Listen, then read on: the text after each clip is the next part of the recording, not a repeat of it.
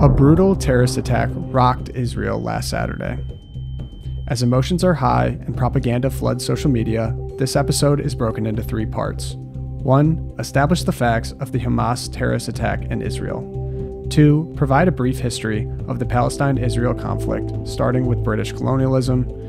Three, cover the reactions of American leaders, some of which have clearly not learned from the Iraq War. And as usual, we provide some tips for navigating a stressful time as a Catholic and encourage you to pray for peace. All this and more on this edition of the Loopcast.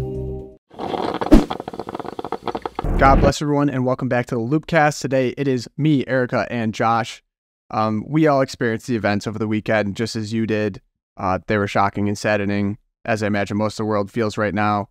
Uh, so we're going to spend this episode really breaking down three different threads on what happened over the weekend. Fortunately, we're kind of at a point in time where it's not as fresh and a lot of the facts are known, and we can really try to just lay down the facts of exactly what happened on Saturday, uh, understand a little bit of the historical context of the dispute between Palestinians and the Israelis, and then also what I don't think is being said elsewhere. We want to add some real Catholic context to ways to live in a time that feel very tense and feel very stressful.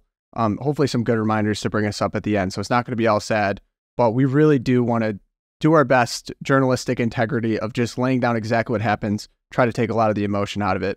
And we have the pers- perfect person for it. If you've ever listened to this, Erica, of course, uh, came with the Aw, research. Uh, Erica, can you just lay down exactly what happened on Saturday in Israel? All right. Well, like you said, we're a few days out by the time we're recording this. And so we have more of the facts of what happened. So on Saturday morning, which is a holy day, the beginning of a holiday weekend in Israel, there was a, a terrible, brutal attack. There's no way around it by Hamas, which came up from the south, the Gaza Strip, south of Israel, into um, some southern kibbutzes, music festival involved, all the, all of these um, civilian targets really. So I'm gonna I'm gonna break it down with a few facts here, and I took these numbers from two sources that I think uh you know we're trying to get the exact numbers, but I took them from Al Jazeera, which is certainly not exactly a pro-Israel source, and I also took some from Daily Signal and Daily Wire, so more on the other side.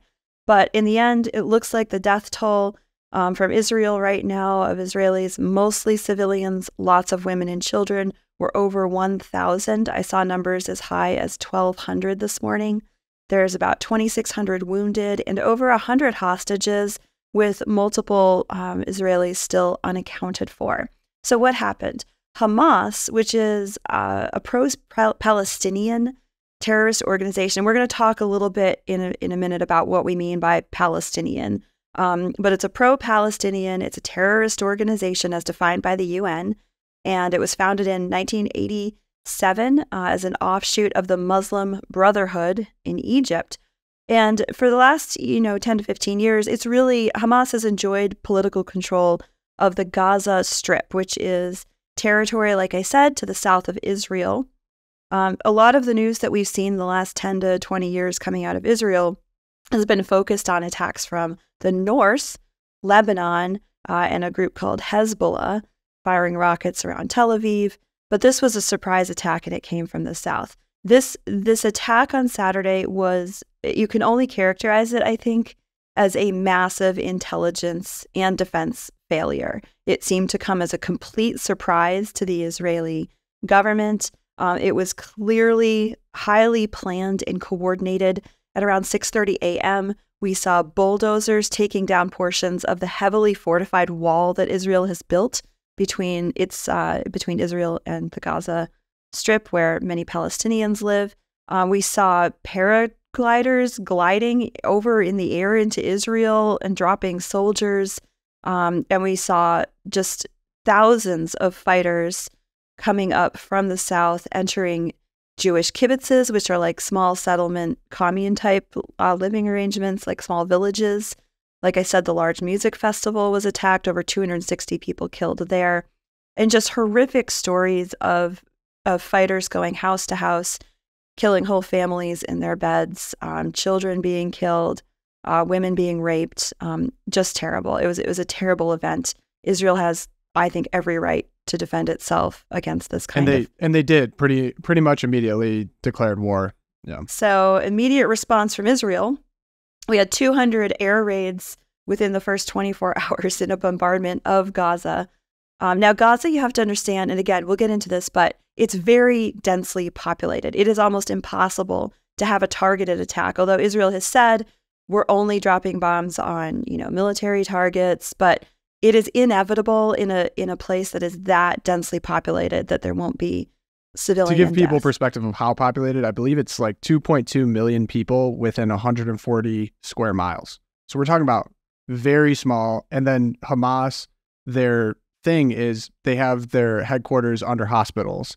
Uh, they hide in schools. Like these are these terrorists basically like Hezbollah in the north, correct. right? So the, they're they're intentionally hiding behind civilians, and so and in refugee camps as well. Right. And of course, despicable.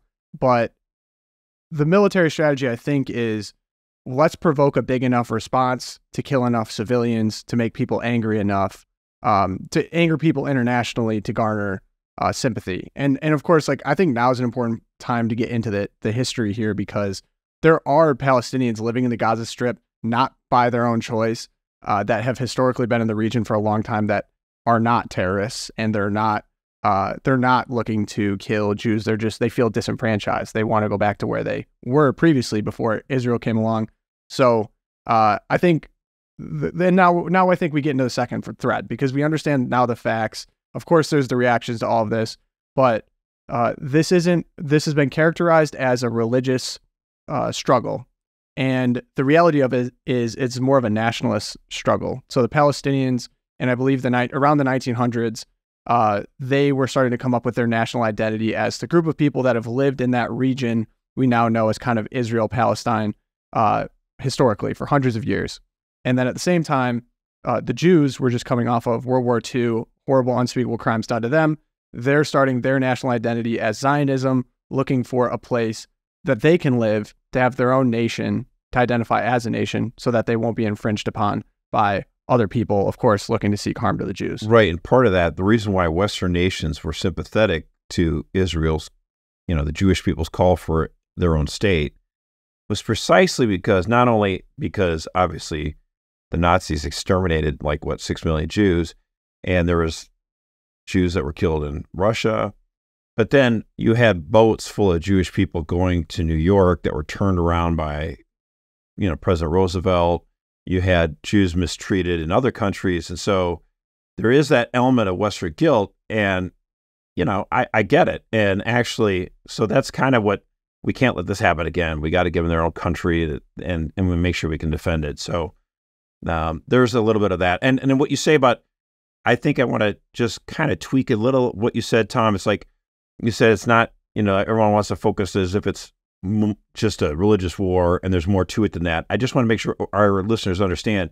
We're saying it's uh, there are you know nations, cultures, peoples as well as religion. So, yes, religion still plays a major factor, no question. But too many people in the secular world view it as only a religious or holy war. And we're trying to say, no, yes, religion is a factor, but it's not the only factor. So, just wanted to make sure people understood. Yeah, exactly. The reason I brought that up is because before that early 1900s area, Jewish people and Muslims existed peacefully in that region for the most part there wasn't a broad scale constant attack that we've been seeing starting in the early 1900s to now. Um, so it's not like so I think the way that people frame this is, oh, they've always hated Yeah, each other. for It's 20 gone centuries, back da, da, da, hundreds da, and yeah. hundreds of years. That's not true. That's just Yeah. not true. That's- Amalek and the Assyrians. And, Yeah. right, and it actually, right. ironically, started with the Brits. So, Erica, I, once again, we want to get back to the sources of, of the facts here. The Brits were kind of responsible for for setting this up poorly. If you want to get into that, I think it'd be helpful to understand.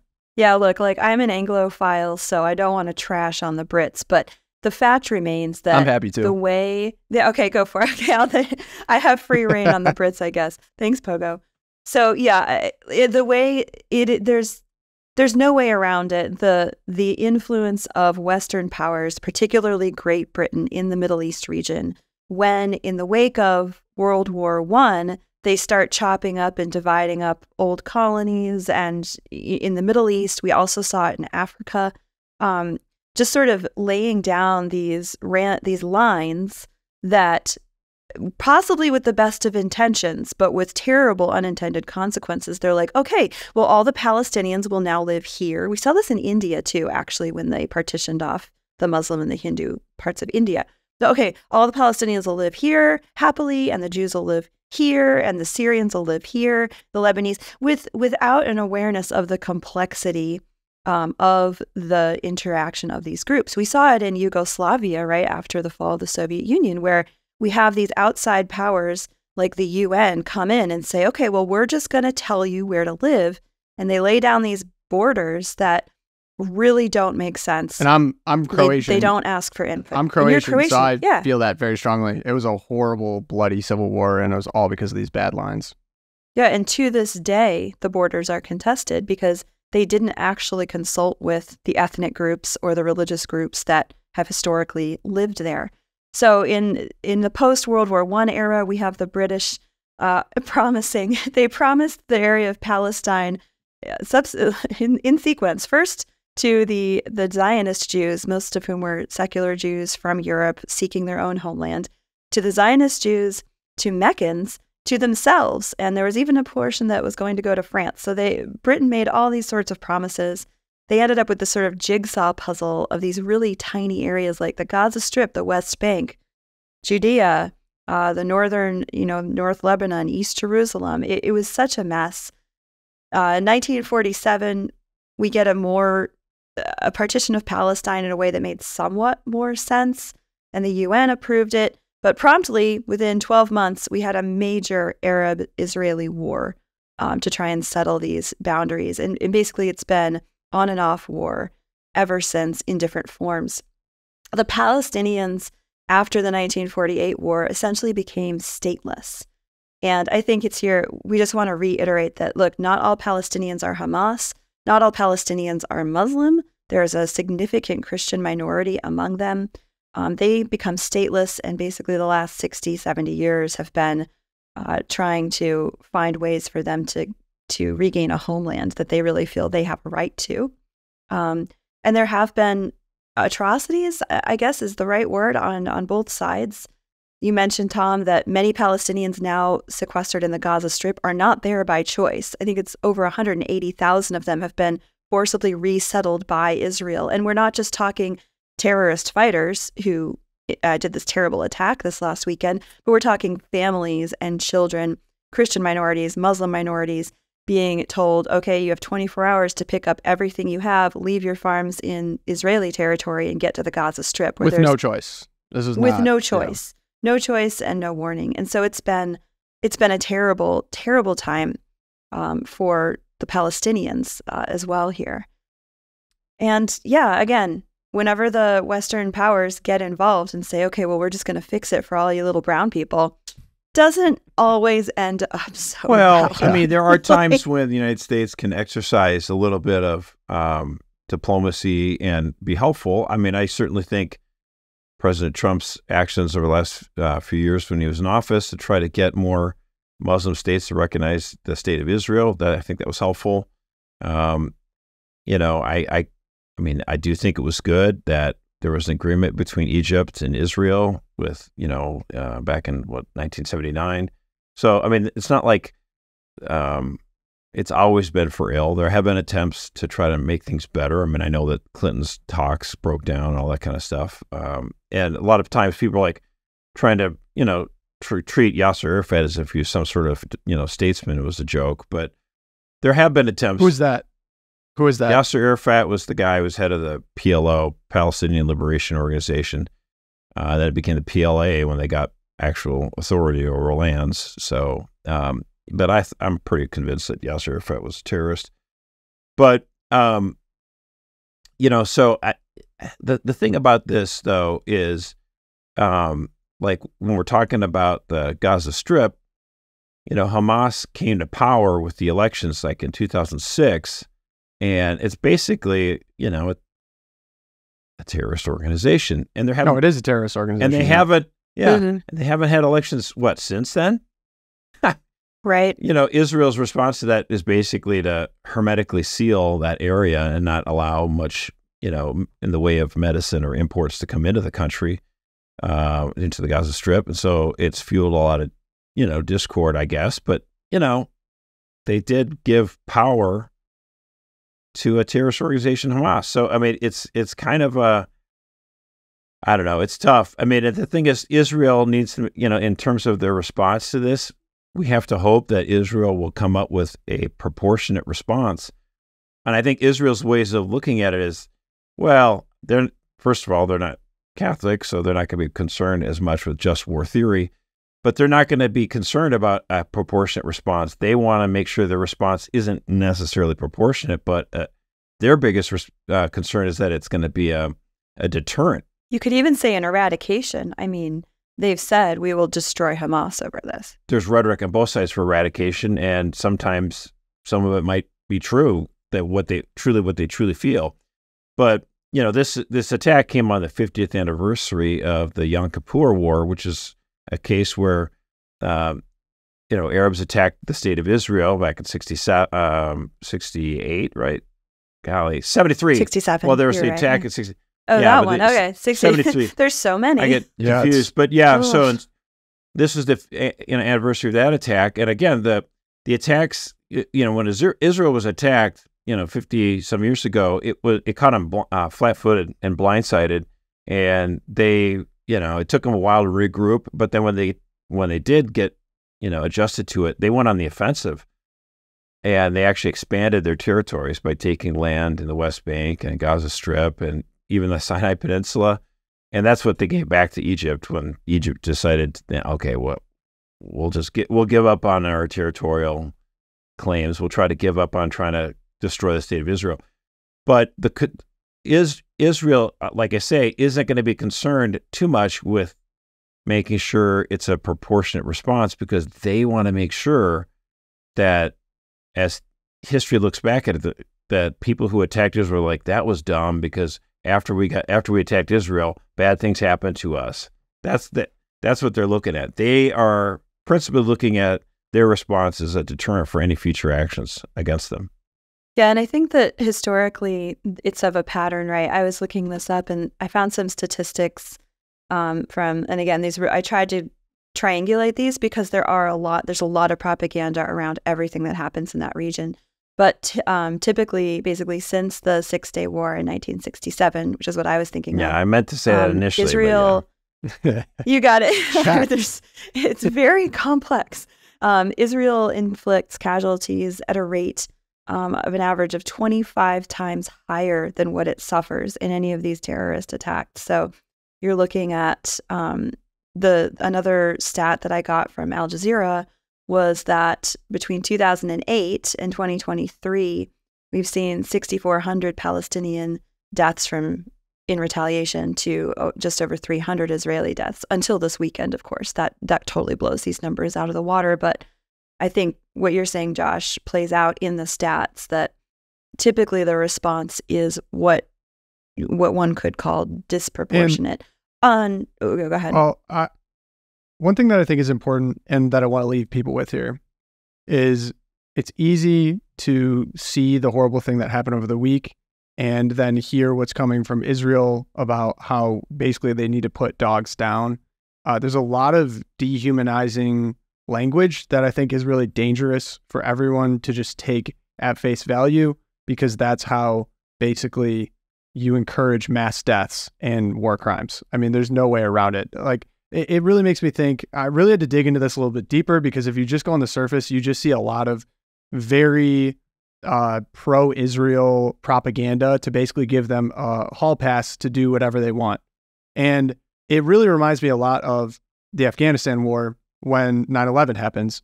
And basically, we were all emotionally hoodwinked into bombing Iraq and Afghanistan under the guise that there's weapons of mass destruction there. We come to find out, of course, that's not true.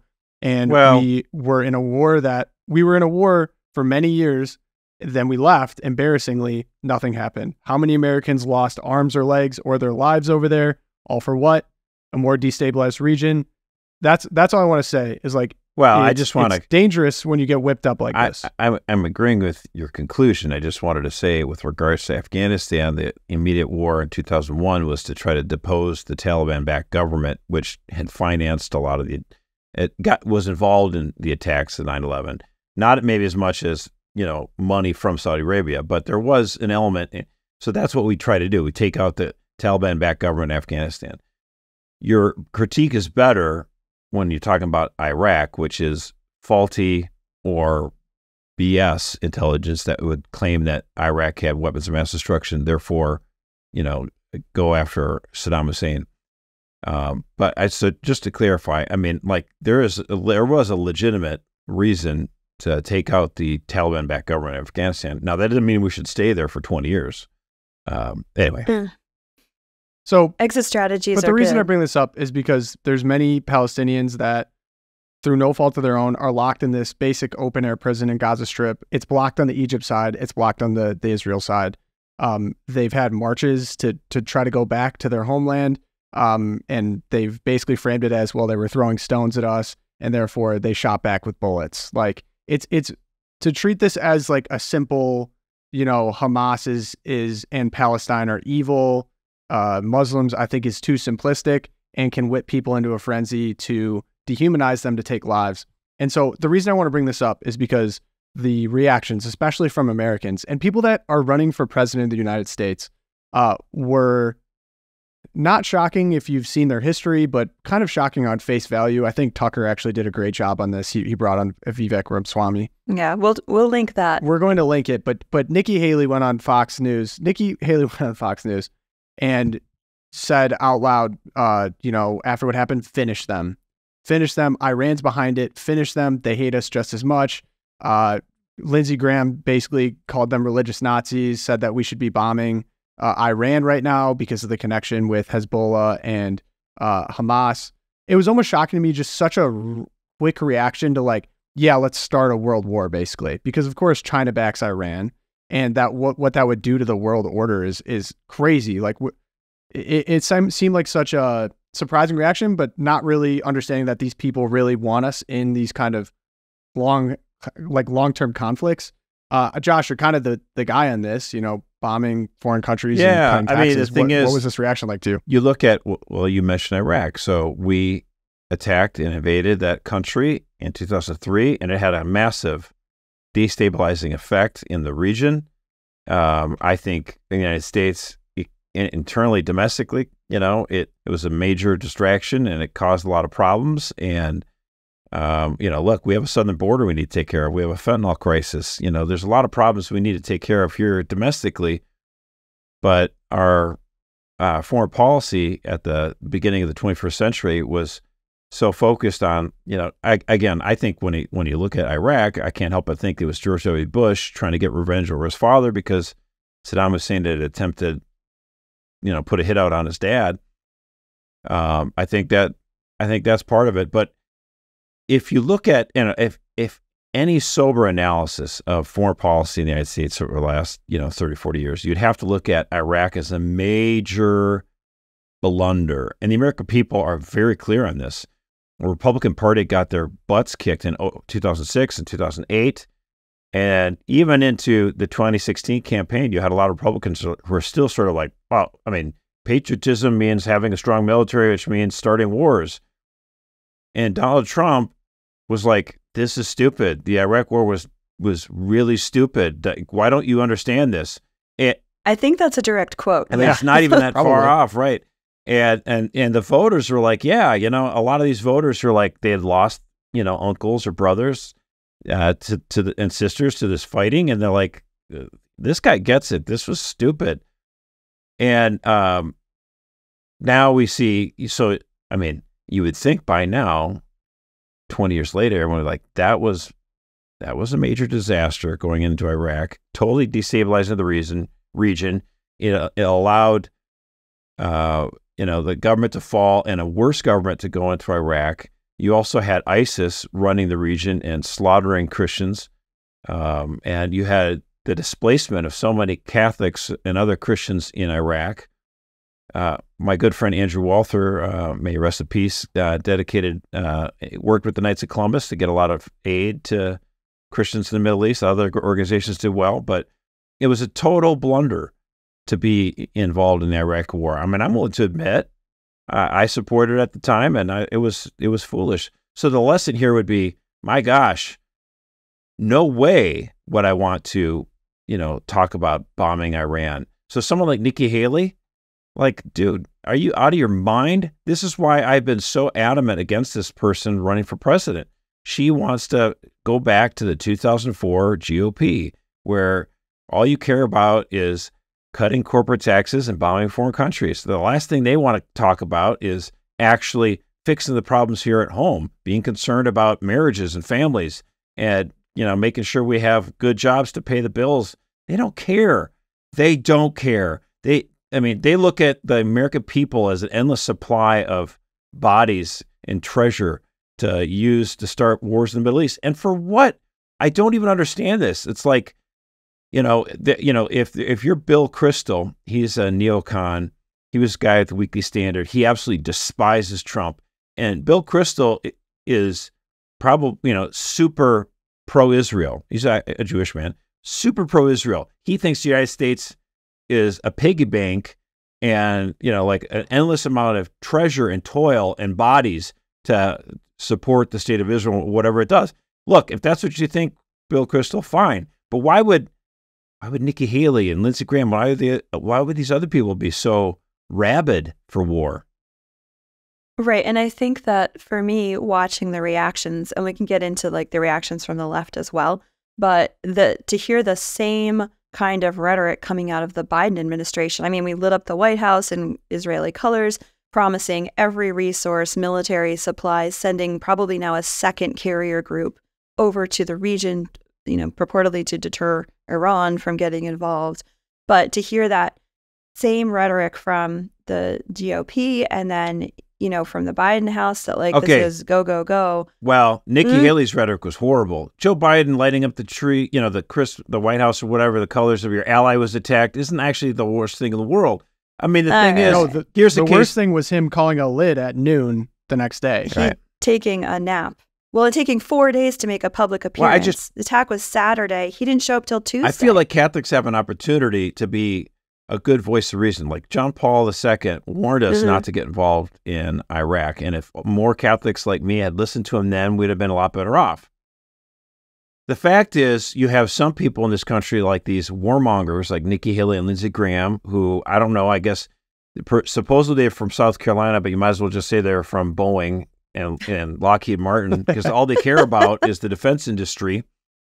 And, you know, you, you have to ask yourselves, you know, like, what, what can you, I, I guess I, as a Catholic, I feel like Israel, of course, has a right to defend itself as long as the response is proportionate, justified, and, and morally yeah. justified. And I, I, you know, like they should.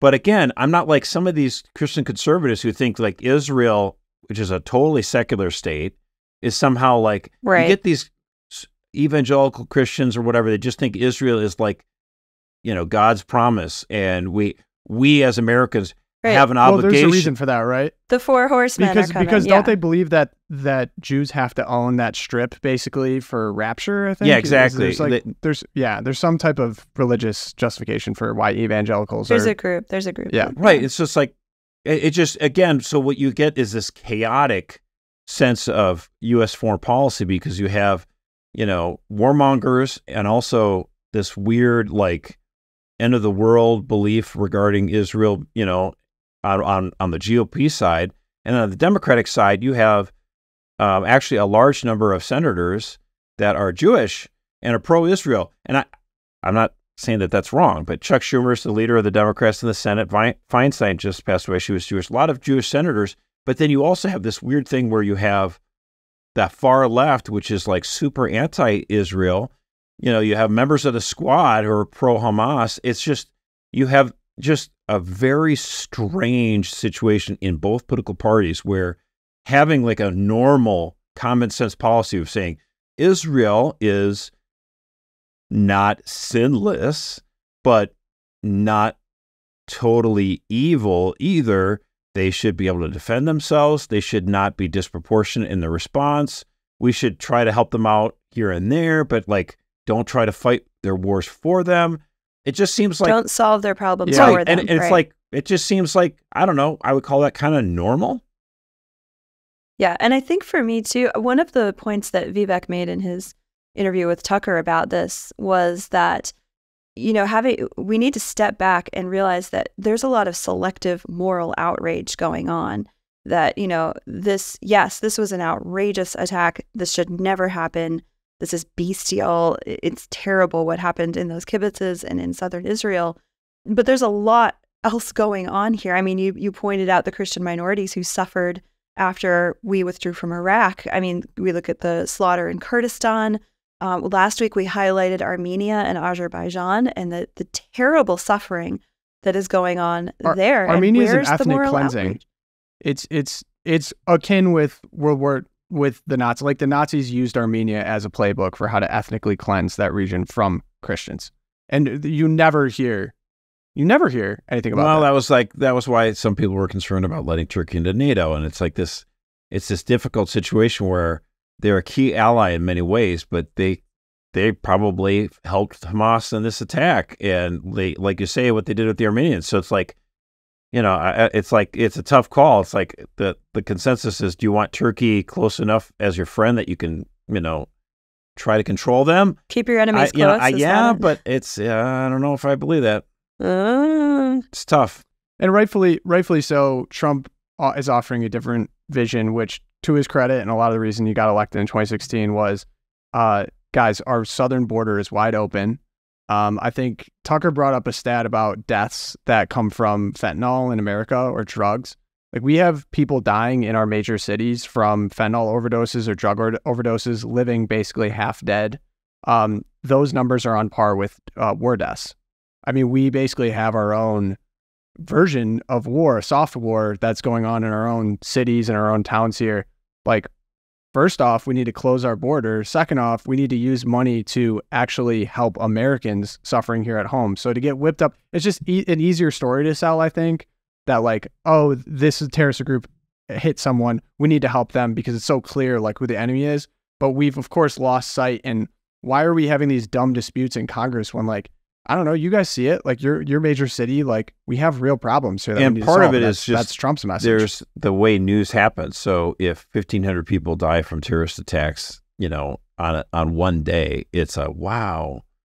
As opposed to if 25, 35, 100 people die every day over the course of months and months and months and months from fentanyl, it's like and they're scattered all over the right, country. and it's right? it's just Mhm. it's it doesn't it's a s- slow, terrible death. right. It It's not as sexy for sure. yeah, so it's harder to to to get it's harder to grab the attention of the American people. But that's why, you know, when it comes to the media, you need to be able to have that uh, ability to step back a little bit and put things in perspective. I think that's what we're trying to do here with the Loopcast. We're not going to say that we did everything perfectly right on this stuff because the, the, the Middle East is a very complex situation. But we just wish that our um, our our lawmakers, uh, the news pundits, and everyone else involved in this situation would have a little bit more uh, sobriety and humility when it comes to this kind of stuff, and understand that you know just because the United States is a great power doesn't mean you have an unbelievable ability to just completely change all the borders and make everything right. Um, it's a lot harder than you think. We should we should have a little bit more humility after our own debacle in Iraq. Yeah, I like that. And I, I, I think uh the third thread here is we want to step back and we want to put things in perspective. We are all very fortunate here to share the same faith. And it'd be really hard to categorize in your mind the different events that are happening around the world or even within our country and still keep this inner peace unless you had an understanding that temporal things pass away and that our, our eternal home is heaven and to keep our eyes fixed on that. And I think specifically regarding this, people feel very anxious about the war and about things going on at home. And in the month of the Rosary, I I, I want to not to go all Pastor Tom or whatever. Uh, my Go pastor, my pastor at my my church, gave a great homily about uh, Our Lady of Victory, now known as Our Lady of the Rosary, and October, the month of the Rosary. Uh, war and tension and strife, and even like Josh said, like America's a power now. Who knows where we'll be in 100 years? Uh, life might not be always as we understand it. And the best thing that you can do is to pray earnestly to God uh, for one, the repose of the soul for all these people that are, are affected in the Middle East, uh, for pray for peace. Uh, many times, Our Lady has come forward and specifically requested our uh, us to pray the Rosary for peace. But even in the Battle of Lepanto, like in a time where basically uh, the Holy League in the 1500s uh, was on the brink of destruction, the Turks had a much bigger uh, naval fleet. The Holy League had a few ships essentially. And uh, Pope Pius V said, "Pray the Rosary, open up all the churches to save um, Christendom." And Our Lady saved Christendom. They provided this victory that, by all stretch of projections, is impossible, um, because of course nothing is impossible with God. So I think a lot of this just put in perspective. Like many people have lived throughout, we have this unusual time of peace that we've lived through. Most people in their lives have experienced a major war. We're talking like you know, Wow. a world war or war that they know someone that was involved with. I know we did go through Iraq and Afghanistan, Right, but I- not not to the scale of World War II. I think And it wasn't on our home territory, right? right. Well, was on our home territory. My city got attacked. No, um, I think that's. I, I understand what you mean, though. Like the taste of war has been shared by too few in this country. So even though we've been at war over the last twenty years, m- most of this twenty first century has been the United States has been at war. Um, it's been the number of people who have served in the military is smaller than it's ever been before. So the number of people who have military experience or have, have felt the pain is smaller than it had been. You know, when I when I grew up, the number you know my dad had served in Vietnam. My my grandfathers had served in World War II. Everyone had you know, and my neighbor he was in Korea. So the number of people I knew that had military experience or fought in wars was a lot higher than it is now. It's just there's a lot fewer people that have that experience. But I just want to make sure we understand that yeah, there definitely we're still at war. Just a smaller population that having to bear that brunt and pray for them. You know, every what is it? Every 22 minutes, uh, a member who served in the, in the military commits suicide. It's a harrowing statistic, and you know, there's a lot of hardship and pain. And so when Trump came along in 2015 and said these wars are are stupid, they're horrible, and the casualties from it are are not over just when the battle stops. If I could ask a, a, a personal question to both of you, you know, we go through a lot of news, and so maybe we have to see more than most people. But I think most people, you know, have popped on the news or popped on Twitter or whatever, and have kind of seen a lot of the videos coming out of this. Uh, how do you, and what advice would you give to someone to maintain a level of peace and not become so upset seeing everything that they're seeing right now? Right. I think I spent uh, a lot of time researching this, and I definitely it was it was very difficult to like have your head in it because the the images coming out are really disturbing. Kind of like watching Holocaust film footage, for sure. Not kind of. it- It's very similar. Um, I, again, this is not just a platitude, but I sincerely believe the only way to maintain a true vision of what suffering in the world means is prayer and and specifically reading the scriptures and staying close to the word of God which is not only speaking to us from you know the time that it was written. So you know uh, reading the book of Isaiah is particularly comforting to me because not only is he talking about a time when the Assyrians are invading and there, there's all kinds of wars happening but it's also God speaking to us now in this moment um, and it's the inspired word of God. So I think staying close to the scriptures in our prayer um, and maintaining that conversation with God is absolutely central to not getting down about you know the what's going on in the world and who's yelling what about nuke who and um, yeah i think as christians that's what we can bring to the world is that interior peace if we're close to god through his word I I'm always careful about like you know not ingesting a media diet that will make you feel horrible. you know, we try to, for example, with the loop, be straight and honest with stuff, but we're not going to try to attack your senses. Um, you know, we'll be honest about what's going on. But I feel like, you know, you don't have to actually put your face into a pile of mud to know that it's raining outside.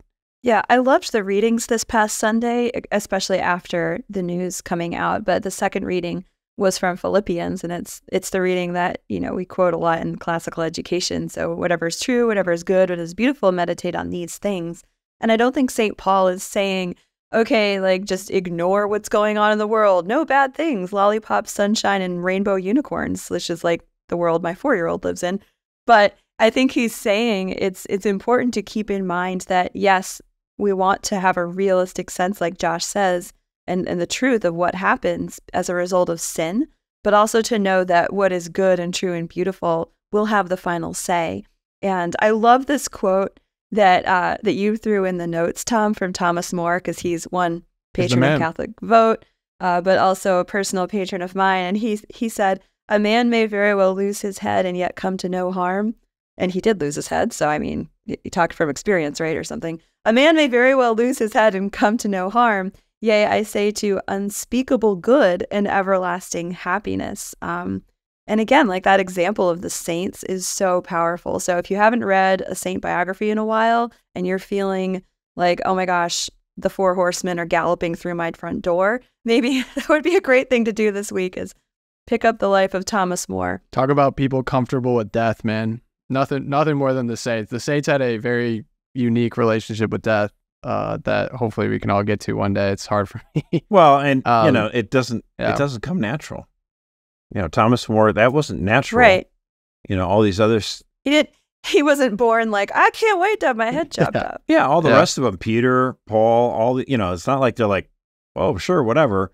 Kill me. Yeah, that it, it only comes from an inner peace. It only comes when you know you try to bring yourself closer to Christ and and His love. That's yeah, it's supernatural. I think that uh, the concept of history too is important, and Erica kind of brought it up, and I feel like we continue to bring it up. Like the reason we went through the context on this is because it's everything feels uh, unprecedented and scary and new if you don't understand history. And it's like, what's that that trend going around? It's like, how often do you think about the Roman Empire? Yeah, um, that's awesome. Which is funny. Uh, Josh, Josh, and I have gone back and forth on that, but it, it is true. Like I, I, when I have like studied Rome, Rome has experienced everything we have and more. Uh, and if you knew that, you wouldn't be as surprised when, you know, we deal with inflation or we deal with military disputes or we deal with uh, bread and circuses. Like this is well, all. or with uh, with the synod. I mean, it, it's it's easy to look at current church events and think, oh my gosh, this is the end of the Catholic Church, or oh my god, there's so much of ah, and like lose your head. But if you have a, a sense of history you, it's much harder to lose your peace if you know, okay, there's been the Arian heresy and mm-hmm. the Protestant rebellion. Well, it makes you on. think that, you know, when you look at the Roman Empire and all the things that had happened to it and understanding, you know, the reach of a very large national, uh, international power, and you realize, yeah, maybe we do need that humility. Maybe we should think twice before we start foreign wars. Maybe we should take care of our people at home. And my goodness, Pat Buchanan was a prophet. I sometimes think when I'm parenting my children that this is like God's vision of world history too, because how many times do I have to repeat to them, like, shut the front door or don't touch the stove, don't do this, don't do, and it's like over and over again. And they keep doing the same thing. And parenting is so much, and it's just looking at world history, it's like, there go the humans again, getting embroiled in foreign wars and doing the same thing. And it's not like we don't know what's going to happen here, people. But God, our Holy Father, must, our Heavenly Father, must just be like, okay, Erica.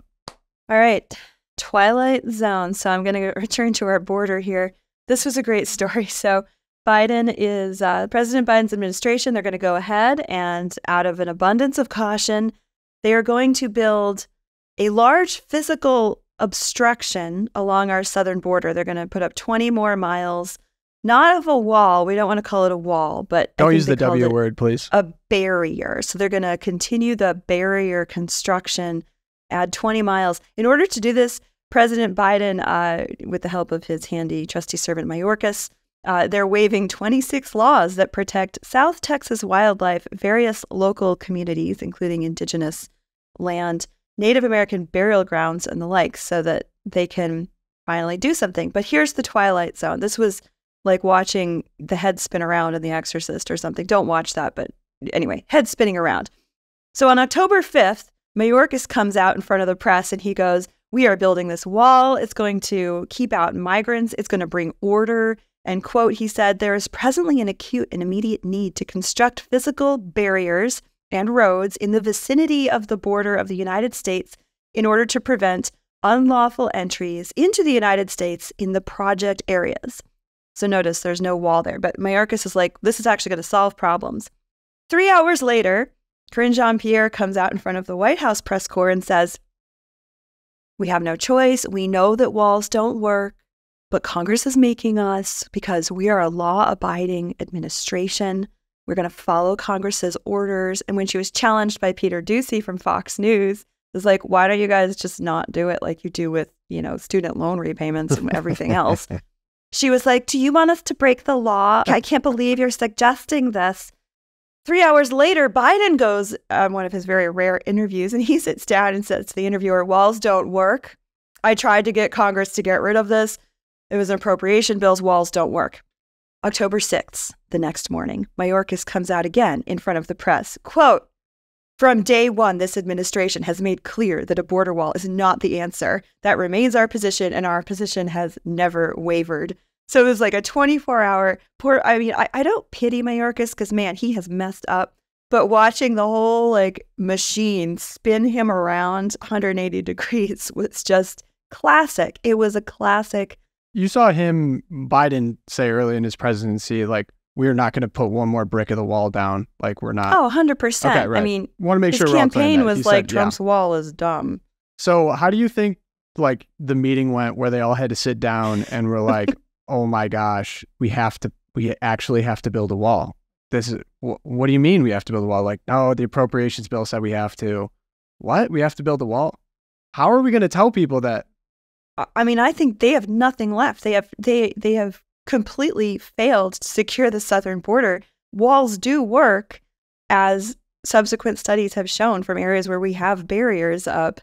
And so they're like, well, I mean, we got to do something. You need a 'cause You know, you need actually- a study to tell you that the wall works. Actually, it's kind of funny that you think about it now, though, because with you have um, New York City Mayor Eric Adams calling for restrictions on the he's border. flying down there, Now you have the Biden administration calling for, Uh, you know, a border. So really, the building a wall. yeah. So really, you're left with who is the only person who really thinks that we should just have a wide open border? I guess it's just oh, the U.S. bishops. Oh, Oh, yeah. he said it. It's true. They did have a statement this week in support of. oh man, I don't even know who they were supporting, but It defies Come on, logic. guys. They're it defies logic. support of chaos. Yeah. They're Defies support of logic. chaos. Yeah. Hey, and I just have to say too, if you want more on Catholic Vote's take on the immigration issue, Brian Burch, our president, fearless president, had a fantastic op-ed on that Oh, so good. this week in the Loop. So dig back and, and read that. well, Check your email. speaking of bishops, uh, I get to I, I get to talk about the synod because you know the synod's going on. It's hot topic. A lot of people liked our thumbnail of uh, Cardinal Sarah pulling the fire alarm, the imaginary fire alarm at synod. That's So, a great thumbnail. I mean, this quote just really just works on its own. I don't even really need to add much to it. Father Timothy Radcliffe at the start of uh, a synod session started with, quote, so, so many people feel excluded and marginalized in our church because we have slapped abstract labels on them. Divorced and remarried, gay people, poly, polygamous people, refugees, Africans, and Jesuits. You know, I think there's a Let me lot of indulge a small giggle. I think there's a lot of conservative Catholics in the United States who'd be more than happy to allow the, the Catholic Church to be run by an African by the name of, you know, Arinze or Sarah. Oh, yeah. I don't think we have a problem with Africans, actually. Nope. Have I'm you seen the good. thing that Trinity Brewing's been doing? Like, are you familiar with Midjourney? yeah. It's an AI. So it's a, it's the same thing that the Trump the Trump history oh, guys doing with the AI Okay. technology, but he, they make like fake pictures Just that for are like fun, really right? high quality of Yeah. stuff for fun. Just for fun. It's like a satire. so they've site done a slash- series. Trinity Brewing's done a series. Trinity Brewing's done a series where they they imaginary make Cardinal Sarah the Pope The and have him do a bunch of things. So he's like, said Pope Pope Sarah, or I I can't remember what the Pope name he was given, but like Pope Sarah never takes questions on an airplane about American Catholics, and it's just a picture of him sitting on It the was very around funny. recorders, head down, praying a rosary. It's awesome. Yeah. I think it's ironic too. I mean, I was reading Father Timothy Radcliffe is a Dominican and just I, like I love me and my Dominicans, but this guy, he's been giving these reflections. He's been giving these reflections at the start of the synod uh, sessions and this the, the quote Tom gave us is just a, sampling of the Sidonese Sample. that he subjects the listeners to. And What's I'm abstract about looking- being a Jesuit? I'm confused. I'm still confused. or being African. like you are or you aren't. I mean, right. come on. it's- okay.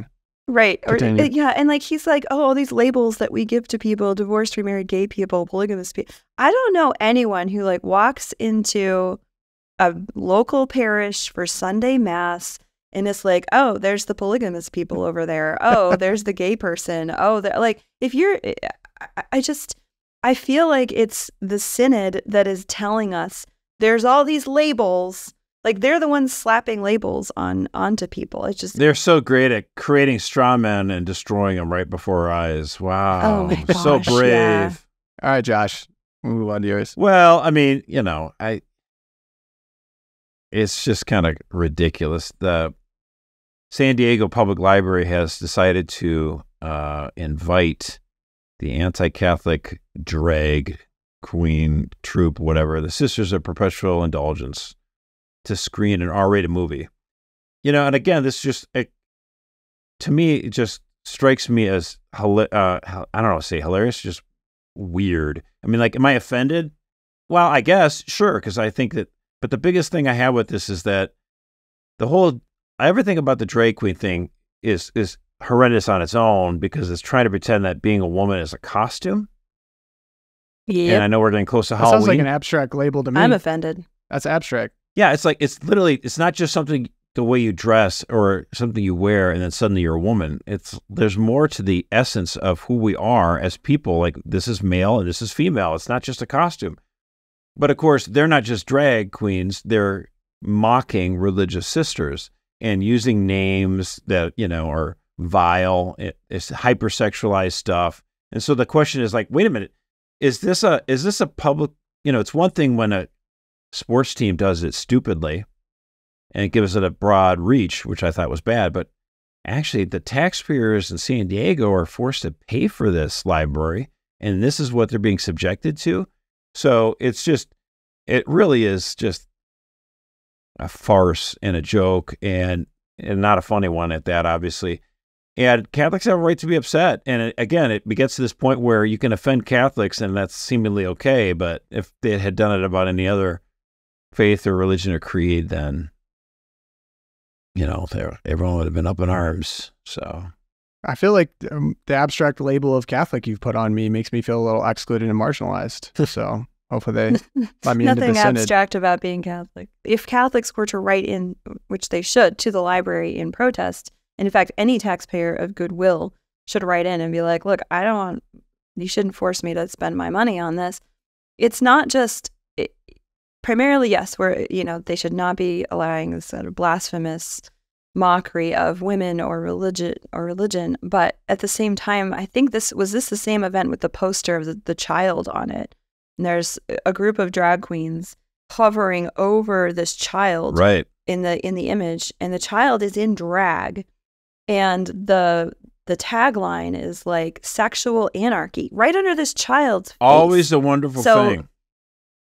Yeah right regardless of if you're catholic jewish whatever but this is literally like sexualizing a child. That that child is a real person somewhere who was put up to this. With the sexual revolution, we had this weird thing at the beginning, at least for the first generation or two, where uh, adult men and women said we can act and think pornographically as long as we keep the innocence of our children okay. But that was an uh, it's in the privacy of our bedroom Right. it's not going to affect him and but then it spills over to every media outlet everywhere and so it, that's not sustainable it's like you know just because you're married or you're an adult or whatever, it doesn't mean you should have a totally pornified brain, which men and women are both having.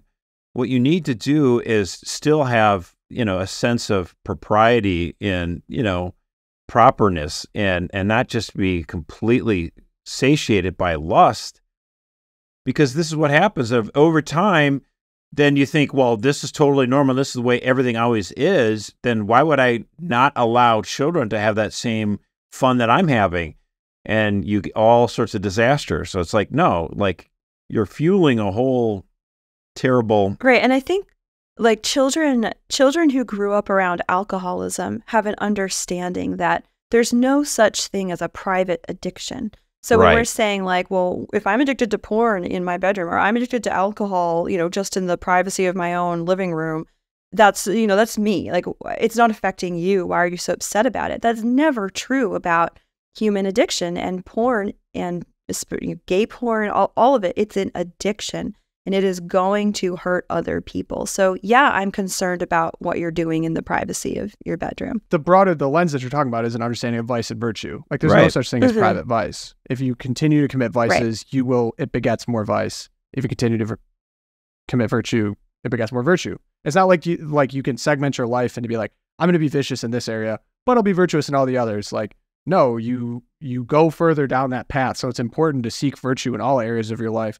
That's why Catholicism Catholicism once again, wisdom of the timeless church here. Uh, there are norms. Like like there's a there's a way to see human dignity especially in uh, intimacy. And if you're not trying to pursue virtue in that intimacy it begets all these problems that we're seeing right now in terms of all the deviancy publicly. Right. Um, and it started off with let me do whatever i want in my bedroom. That that does not that precedent does not apply to anything else in life in, in that this is just going to stay in its little place and not be anywhere it's like well how could we be so naive to think this so once again it goes back to like the greeks with vice and virtue Yeah, It's- actually, it's- and and Fulton Sheen had a good quote. I loved it so much. She says, "If you don't behave as you believe, you will end up believing as you behave."